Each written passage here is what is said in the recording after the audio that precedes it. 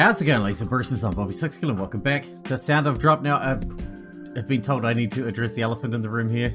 Uh, I have not been replaced by a younger version, a younger other person. I am still actually the same person, just with less of all this, you know, so... I know it's going to be a hard change. We'll get through this together, you know. and it'll grow back anyway. Anyway, let's carry on, shall we? I think we are near the, the end end. But I've said that more than once in this series, so let's carry on, shall we? Here is... Here is alright as well. Taking the front entrance out of the deep sea fish booth, we've arrived at the tunnel tank. Marty is playing at the center of the room, addressing the fish and living creatures. The creatures do not respond verbally, because they're fish. But the light, blue light emitting from Marty envelops them, and just like at the deep sea fish booth, they begin to swim about freely. I wonder why the fish don't disappear. Since they're souls, they should also be able to cross over. Because they're all Marty's companions. They've been under the influence of a heart of fear up until now. But, having been moved by Marty's pure heart, it seems like they want to help her. The fish's emotions, huh? Think you could hand in a paper on that? Should I write that Marty is glowing or something? If I write such a paper, they won't let me get into high, won't be let, let me into high school. Big sister, you'll be in high, high, a high school student soon? How cool. How cool. Marty is emphasizing her point by jumping up and down. The ultramarine light that seems to be not of this world is making an imprint out of Marty. As Marty says this, I can't really seem to answer her. Big sister, are you in the same class as Sayo-chan? No, we go to different schools. I go to Mitsuba Junior High, close to home. What about you, Sayo? A girls' school in the city. It includes elementary, junior, and high school. It's near Manten. Well, since the high school's begun recruiting, why not try for it? Though the score you need is high. Saya-chan, you want to be in the same class as my big sister? that isn't necessarily... It's not what I meant. Stop picking on me. Saya's face becomes red and she, she shouts at Marty. Marty has a mischievous smile on her face, so she seems to be attached to Saya. I'm not used to seeing the power dynamics between these two play out so clearly, but it's quite funny. Anyway, let's keep moving. We need to go around the aquarium to all the new areas and make all the creatures Marty's allies, right? The fishes say that they'll help us and spread my light. So we can leave it to them. We should go look for that man and that lady. Allies, huh? Yeah, they're probably our most reliable option. But you know, if we don't hurry and find the man, no matter how I help them, they'll be taken over by the scary feelings again. Overwritten by the grudge, you mean? If so, we should return to the director's office. Yeah, that's right, I have to go in front because the others are following me for now. Big sister, you too. Think about what you want to say to the man and the lady. Marty says, pointing her fingers toward the way we came. When Marty spins to the side, the dust in the air reflects the glittering light. It's as if she's clad in blue specks of light. Marty's words weigh heavily on my chest. She has also probably realized it. This is the end. The man and the lady, all of the imprisoned fish souls, even the big whale. I'll bring them all along, to the other side of that fuzzy world. I want to stay a human. This is what Marty's heart is screaming out. But I'm not sad. If I keep waiting the whole time, I'm sure I'll see you. At that time, I'll be an old lady. Will you recognize me? Big sister is an old lady. How funny. If their ambitions come to pass, Marty will never be able to go to heaven, forever trapped within the cage of being a grudge. Sounds like a ridiculous story. Sayu, if you still have doubts, maybe you shouldn't push yourself. Sayu clicks her tongue and continues. I don't want to accept it. I still have doubts. I also feel that I don't want Papa to disappear, but to be imprisoned by a shapeless grudge unable to be rescued, I pity him. He's already dead, so at least let him be relieved by Marty's kind kindness. My true resolve is that no matter how terrible he was, I still accept him as his daughter. It's not wrong, is it? Going about it this way? Saya smiles with the most relaxed expression I've ever seen her use. It's not the strained resolve she had when we met. The person who recklessly said she'd throw away her life if it meant clearing up the truth is a different. If if it meant clearing up the truth is a different person. Like the time that Marty said she wanted to protect us. This is a pure wish. Mayumi, you should also probably be sure of your feelings. Even if this Hiyoshi guy is the real culprit who killed Marty, there's no need for him to die. If he can be saved, you should save him. If he's alive, he should have to atone for his sins. Sayo. I don't hate him or anything, he was scary, but it, I've already forgotten about him. My only wish is to protect you two. Parting isn't all there is, you two taught me that. That's why no matter what my what conclusion you reach, Mayumi, I've decided not to deny it. I still have things I want to know. Sayu turns to me with a serious look. I look Sayu directly in the eyes and continue. If I think about it, we still haven't heard the truth. We know why Saginuma Reiko planned to kill the director, but then why is Kenji-san her accomplice? And what caused him to go mad? Since you saw the scene of the murder, they probably killed Mari to shut her up. Saginuma Reiko was probably killed as well, being afraid to give herself up and hesitant to kill Mari. It's nothing more than a hunch, but I have feelings it's right. Back when Kenji-san attacked me, he tried to trick me by pretending to attack Saginuma Reiko instead. His threatening attitude wasn't normal. Even though I can't think of it as something a human would do, he did it. One more thing. Saginuma Reiko? Sayu looks at me with a mysterious expression. Do you have some connection with her, Mayumi? Why'd she keep her Marty around at that time? After a moment of silence passes, I clap both my hands together. Without knowing the truth, I can't reach a conclusion, so we should get going. I'm sure the night of the full moon will be over soon. For Marty, and for everyone in the aquarium, we cannot fail, no matter what. Right. With Marty's cheerful reply, she stands in front of us and begins walking, just as she had said. As I start following behind her, her form cloaked in light, Sayu pulls me back by the hem of my shirt. It's unexpected, and a little surprising. Listen to me for a moment. Huh? What is it? Once we return to the real world, I probably will be too embarrassed to say this, so I'll say it now. Before I can respond, Sayu continues, her cheeks have been tinged a slight red colour. Our conversation earlier about high school? Since it's still about six months away, we have some time. Just give it some serious consideration. You mean about going to the same high school? Hey, don't just say that and walk ahead. I follow behind these, the two of them at a jog. My time with Marty's been fun, but it's surely against the providence of this world. The amount of absurd and frightening things we've encountered is probably keeping the balance. Soon, this time of terror will end, and so will my time with Marty. I want to keep being with her forever, but that wish won't be granted. If it won't be granted, at least let me engrave these feelings onto my heart. I will protect Marty, along, along with my steadfast vow. Big sister, you're too slow. That's not true, I'm with you. We exit the tunnel tank and head on from the Fish of the World booth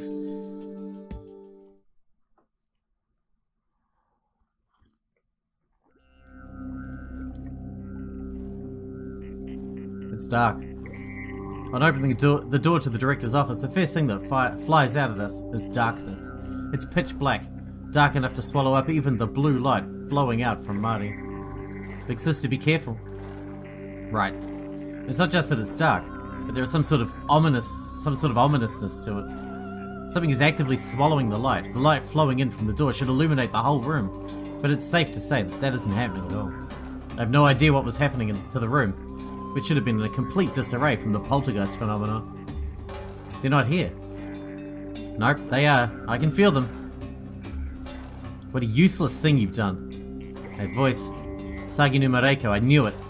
Saginuma Reiko's voice came almost in sync with the answer to Sayu's question. But from where? Even as I look around, I don't see them anywhere. Kenji-kun and I. I'm sure you haven't the you all haven't the capacity to understand. Even if we can't see her, we can clearly hear her voice. It sounds as if it's generally coming from the director's office, but I have no idea where she is. I'll tell you, the thing I realized when we met here, that I wanted you to know, because he loved you. Don't say nonsensical things, please show yourself. You may not have realized it yourself, and you may have disappeared without knowing it, but within this aquarium, the yearning you felt when you were saved by him, I won't let you say that it wasn't from a heart filled with love. Mayumi, don't engage, don't engage her. I know, but if we let it go at this point, I get the feeling that we won't learn about Saginuma Reiko and Kenji-san. Not just that, I don't think we can completely ignore Saginuma Reiko. To speak of our relationship, perhaps I should start with Kenji-kun. Hiyoshi Kenji, he's a criminal who killed his mother when he was little. Without realizing it, I've forgotten to breathe. At this rate, even Marty and Sayu can't help but be interested in Saginuma Reiko's story. Killed her? You mean he murdered her?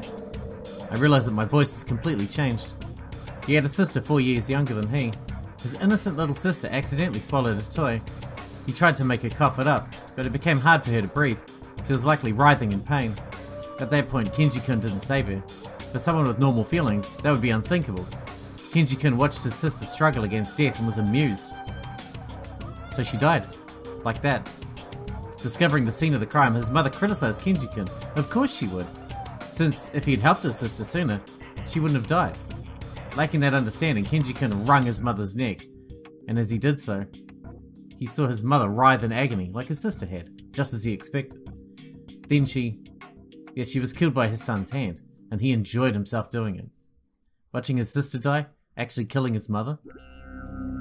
No, that's scary, big sister.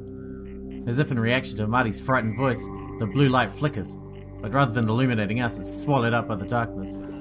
I take hold of Marty's tiny hand and squeeze it. Even though I can't hold her hand, I get the sense that I can feel her shaking. How old are you right now? I'm 14 right now. Having been asked so suddenly, I answer on instinct. This story is from when Kenji-kun was around 8 or so, so you all probably weren't born yet. That has nothing to do with this, just tell us everything from the beginning. My, don't you want to hear it? Don't you want to hear it? There should be no need for you to be so cold, right? How can an 8-year-old wring, wring an adult's neck? Seems inconceivable. Don't act so high and mighty. Is that the attitude you take when you want something? That part of you is very much like your father, isn't it? At her words, Sayo silently cast her eyes downward. That's fine, but I'm the one who started telling the story, so I'll let you hear it through to the end. Her voice, resonating through the darkness, finally continues. He was reminded, remi remanded to an institution where he received behavioral modification. It's no exaggeration to say that these inhuman treatments made Kenji-kun who he is now. Having become able to lead a respectable life after sealing off his mental deformities, he began attending a high school near Manten.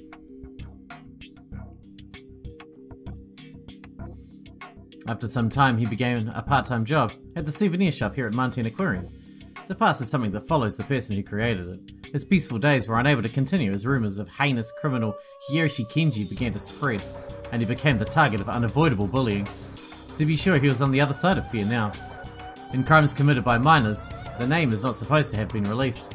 How did anyone find out? Reality doesn't work like it does in a textbook. Getting back to the topic at hand, you see, I covered for him. At the very least, at that time, Kenji-kun was serious, an employee overflowing with enthusiasm. He treated his part-time job as his true job. He was more reliable than the kids who saw this way, saw this as a way to prolong their fun or meet people. Even so, in the end, Kenji-kun's isolation didn't change. I tried to close the distance between us, Having graduated from graduate school and going straight to work, I probably found some warmth within him. That's unexpected to think you also require warmth. That narrow point of view was draining to me, just like the fact that I was labelled a workaholic, much like director Sakuragi. Her voice mixed with sarcasm lowers in tone, sounding as if she's increased in viscosity. I give, gave him a mother figure, and he gave me a sense of purpose.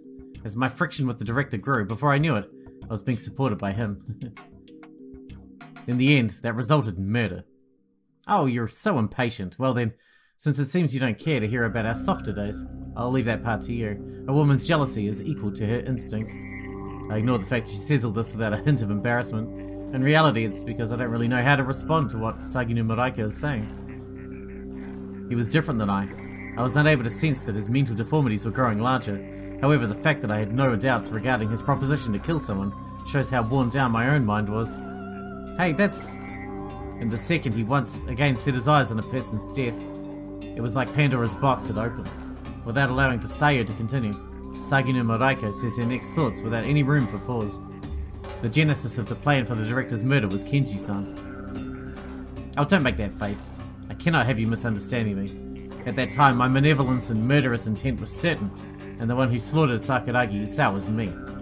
To be sure, even if Kenji-kun hadn't tempted me, I would have reached the same conclusion in the near future anyway. His deformities grew further, and he viewed death even more with even more excitement. And you're saying the reason Marty was killed was just for his enjoyment? No way, that's inhuman. Big sister, calm down. Surely she, she's trying to make surely trying to make you angry and upset.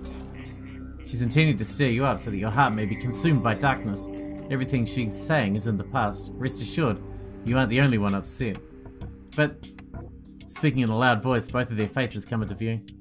I have to calm down, I'm the one who wanted to know the truth. Saginuma Reiko's loud laughter reverberates. It grates on my nerves and I narrow my eyes. I wouldn't do something so underhanded. Moreover, just now you said that Kenji-kun was inhuman, didn't you?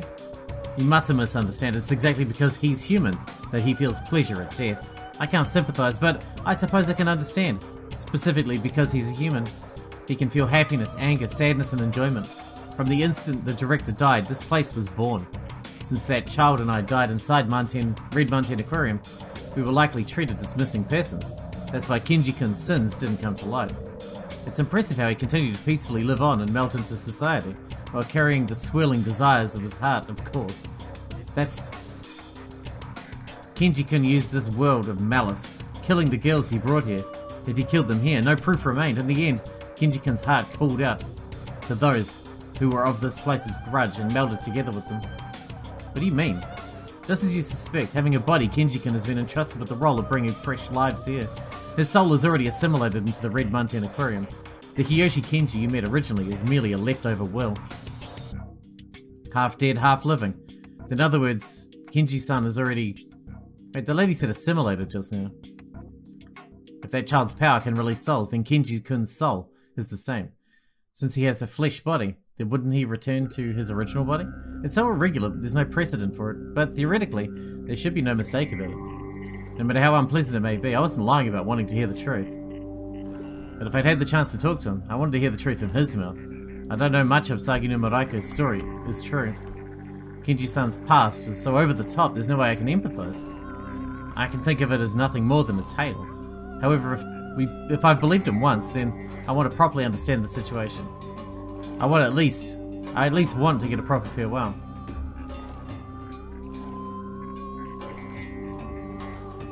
Why would you two do something that would put you at a disadvantage? It is a woman's obstinance. I wonder if you can grasp at least that much. Don't toy with me.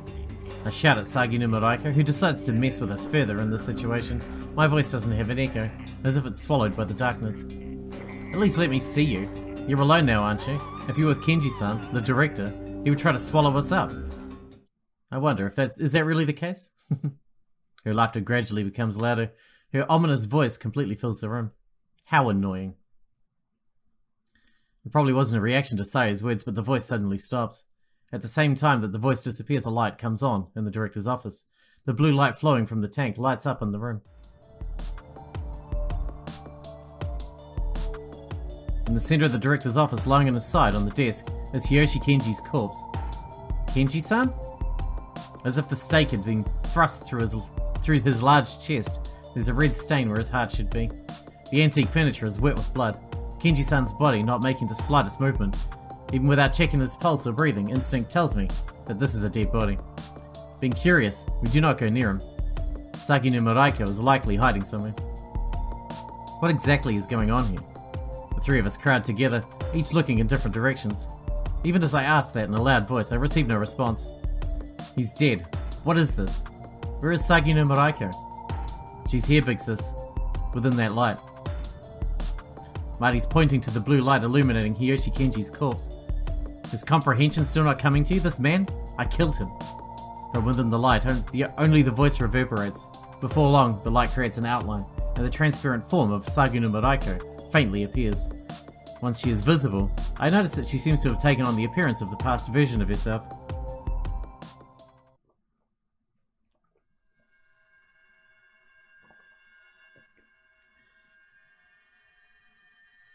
Her chignon style hair has come undone, now somewhat long as it was in the video from two years ago. Killed him, but wasn't he your ally? Didn't you love him? That's right. That's why. Saginuma Reiko stretches her spine so she stands tall like a model, folding her arms and sliding her right hand along her, uh, her cheek. Thanks to her thick makeup, she looks older, though I get the sense that with no makeup she'd be quite the young-looking beauty. Things have settled down enough that I can calmly observe her, although it's not my trembling heart, but rather the air surrounding the director's office that has, contrary to the circumstances, as a gentle atmosphere. I didn't consider him an ally. He was a part of me, needed to achieve one objective, equal to one seedling of the grudge. I told you, didn't I? That it's a woman's obstinance. Sincerely as a human, as a woman, I decided he had to die. Are you saying that you betrayed the aquarium and Papa? From the perspective of humans, it would seem that way. At any rate, since I am a higher order, higher order being, I wouldn't be able to revert to a merely logical one. This is your fault, Marty-chan. Marty? When she hears her name called, Marty covers her face. She seems to be turning into something we cannot comprehend. I'm sure that if I understand Saginuma Reiko's story correctly, that's what we should be we be led to believe. That's due to you releasing the souls. I am also being affected by that. I remember that I loved the aquarium, studied, put in effort, all the memories leading me to this point. Just before I was going to kill you for witnessing the director's murder, I also remember that I hesitated. I couldn't run from who I was. That's why you didn't kill Marty, isn't it? You couldn't kill a girl who loved the aquarium. You really are a kind person, aren't you? what a foolish thing. Kindness, beauty, hatred, anger, they're all pieces of the same whole. Nothing more than pieces of the human created ego. It's probably a strange conversation for one who has already passed, but I chose death for myself. Even if I can't go to some place like heaven, I want to die as myself, as Saginuma Reiko. Why'd you kill him? What happened to Papa? To make a distinction, that's why I brought Kenji-kun along. In the end, love was just not enough. That's why we both sought understanding. The director, Sakuragi Isao, having already detached from Kenji-kun's body, if he wasn't going back to the real world, then he didn't need it. Thanks to that girl's power, the aquarium has already begun to crumble. Even if it finds, even if it's by himself, he likely intends to be sublimated into this place's new reality. That man is an individual, after all. Though guided by the assembled will of the aquarium, no one can run from the poison he carries, his desire to exceed the limits of humanity. Humans cannot create their jurisdiction, no. You in particular may be the exception. Saginuma Reiko looks at Mari as she says this. I realize that, gradually, Saginuma Reiko's form is becoming pale. The light flowing from the tank turns and blends with the blue light emanating from Marty's body, mixing in the center of the room to create a violet color. Each is bound by the limits of the human heart, and it seems as if there is no way to but to combine them. What's stopping this is the looks, flesh, and heart that make an individual. I will not yield my soul to you. Do not expect me to be your salvation. You can all fall into the very pits of despair for all I care. If we do ever meet in confrontation, you can choke on your own poison. Cursing us, those were her last words. Saginuma Reiko caresses Kenji-san's body and gives a loud, wicked laugh. We're not shocked by this. Saginuma Reiko's body, already transparent, gradually breaks up into light blue coloured particles, and from her toes to her head, disappears within three seconds. If he can disappear, at least go in peace. Looking at the disappearing Saginuma Reiko, I place my hands together in front of my chest and offer my prayers. Mayumi? Sorry, Sayu. She's the one who killed your father, but I feel just a little bit sorry for her. She seems so sad and lonely. You don't need to pay me any mind. I told you that I would accept any conclusion you reached, Mayumi. This is one of those conclusions. It's just that... Doesn't having such a personality bring you trouble? It's alright, I'm not alone. I realized something. I wasn't able to talk to Kenji-san directly about the deaths he caused himself, or how he finally was able to express his love in the death he caused, or about how he could personally cause death after death with one woman. Even in the moment Saginuma Reiko disappeared, I wasn't able to get the one thing I needed from her either. Either way, as if sneering at me, the loud laugh echoes throughout the room. Let's go, Marty. Is that man okay? Yeah, I can't do anything for him. Borrowing her words, the reason is because of my own obstinance. Taking Marty's hand, which I am unable to feel, we leave the director's office.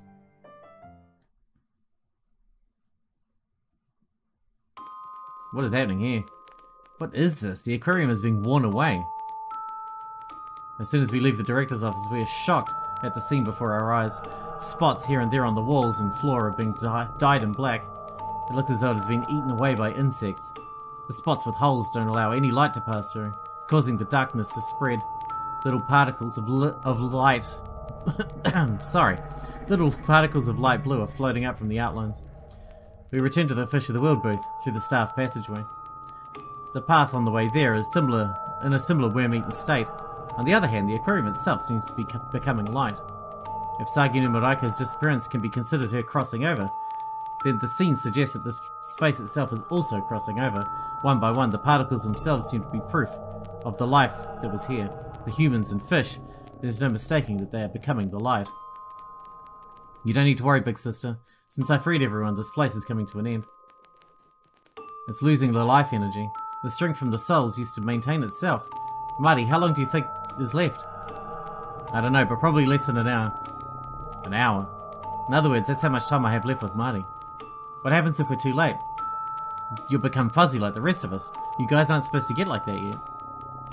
I know that. All we've done up to this point would be for nothing. If we have an hour left, I want to say something to my papa. Marty, do you know where papa is? Yeah. Marty points in the direction of the exit. That man is toward the entrance. I'm sure he's waiting there intentionally. The director is probably waiting for you, sire. Then it works out for us. Sorry, but will you come with me up? Come with me? Of course. Our voices come in and out of in unison, and we begin walking. I was waiting for you. Director? Papa! Naturally, it's not Hiyoshi Kenji that's there. This time it's the director, the body of Sakuragi Isao himself, standing at the Tokyo Bay booth near the entrance. His body isn't transparent like Saginuma Reiko's was just before she disappeared. Throwing back, thinking back on it, since he had a proper existence here, it would probably be more notable if he were transparent. Cases like Marty should be the exception. However, his objective is supposedly to assimilate with the aquarium. When he does, I'm sure he'll cast off the appearance of his spirit. So he takes a step ahead and begins to speak to him. Finally, I can see my, see my real papa.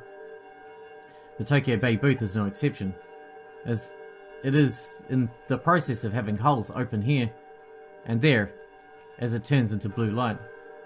Even as I look around, I don't see the giant whale that appeared in the director's office anyway. If that was created by the souls of the grudge, then it may no longer be able to come together. The higher order beings swallowed up by that whale, they were said to be turned into some into mere grudges. But if that whale can no longer take its form, we may try he may try to do something. This whole time, I've been chasing the truth, but no matter how much I pursued it, I couldn't seem to meet up with you, Papa. I finally found you, but I'm sure this is the last time, so I want to tell you how I feel. I decided to just watch. I need to reach my own conclusions, so I think Saya needs to do the same. At this moment, Saya was trying to make a distinction. I cannot hinder her. Saya, won't you come with me? Huh? Papa? What? Before Saya can finish speaking, the director takes over the conversation. We are humans in the end. Nothing remains after we die. No matter how intensely we display our emotions, in the end, they are meaningless to this world. Once we cease being individuals and give ourselves to the collective will of this place's grudge, we can become something new. We would remain as one part of this world's reality. It is the purest form of significance, and in it, we become eternal. Now that Saginuma Reiko has disappeared, my own directive is all that remains. If I don't create a new concept, then under the circumstances I'll be swallowed up by the current reality of this place. But if you lend me your strength, Sayo, I can definitely achieve my goal. Papa, you've changed after all, I really don't get you. You're, you're so clever. So, you would understand right away. I refuse, I have no interest in doing so. It's a shame, being rejected by my daughter. The director's words are nothing more than words. He doesn't even seem at all remorseful. His words have no weight, and his eyes lack emotion. Yeah.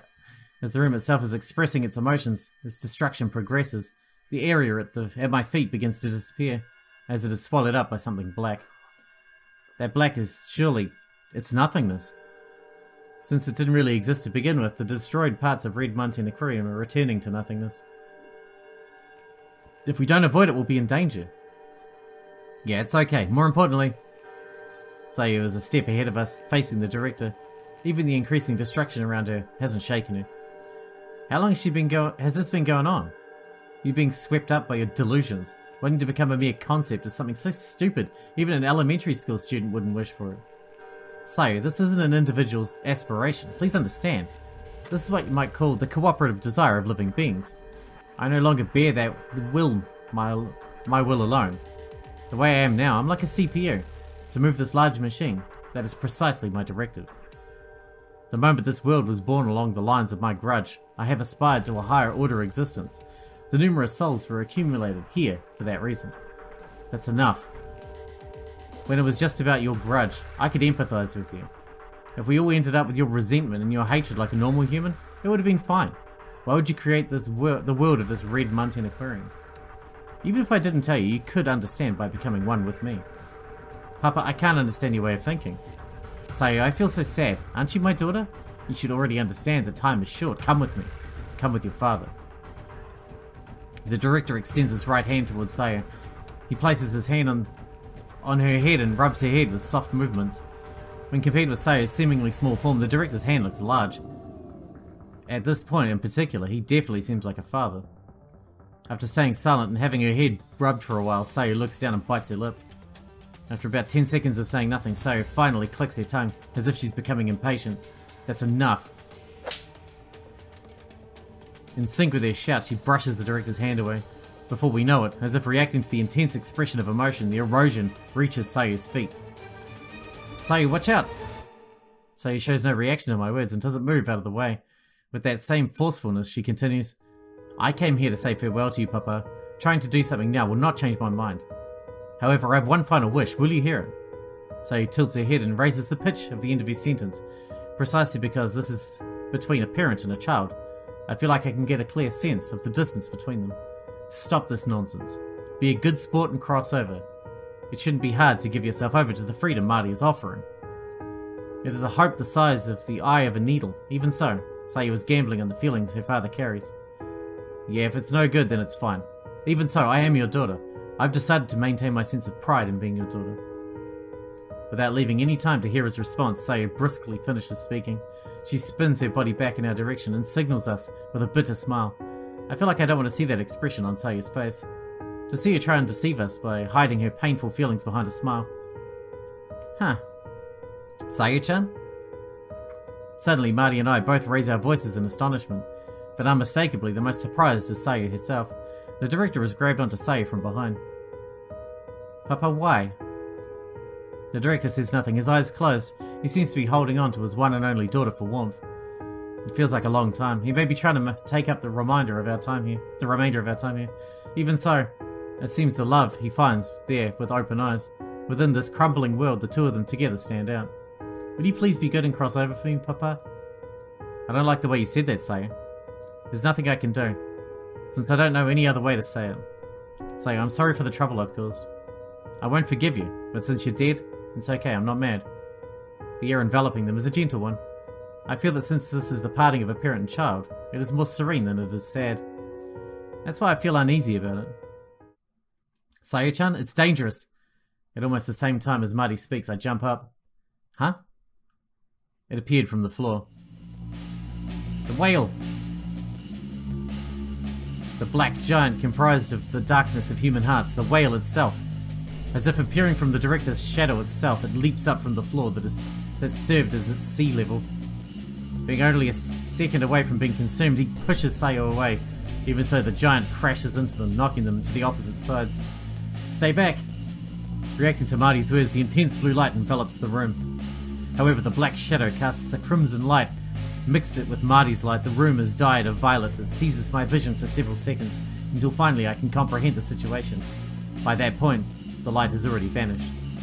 This is terrible, too cruel. Using such a tactic to trick her, you're no real fud. How? Oh, we did. As I hurry to sit my body up, I feel the pain in my right shoulder from hitting the wall. Still, it's not bad enough to stop me from moving. I grip my teeth and stand up. Marty's gone. The director and Whale too. Could they... I wasn't able to see the whale for more than a second, and I couldn't see what happened after that at all, just like when it appeared in the director's office. It was in the midst of casting a wriggling shadow, in that case, it's incomplete. Alright, we're gonna wrap this one up here. I think we've only got one more to go, but we shall see, and I'm sure you'll let me know if there's anything I missed. So we'll wrap it up here. Hope you guys enjoyed it. Thanks so much. I can't even words today. I can't, fucking hell. It's the lack of beard, I guess. This is what gave me my powers and I took it away my powers have still not been able to read very well. Hope you guys enjoyed it. Thanks for watching. Thanks for hanging out with me, and I'll see you in the next one.